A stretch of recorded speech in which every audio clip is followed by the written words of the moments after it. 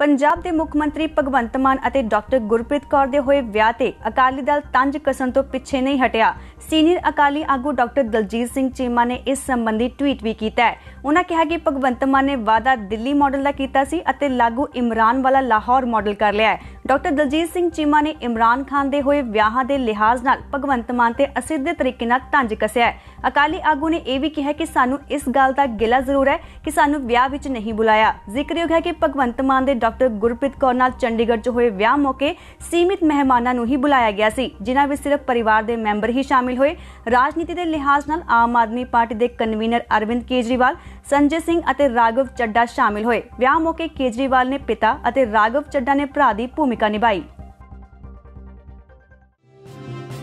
Please subscribe Pravasi TV and press the bell icon.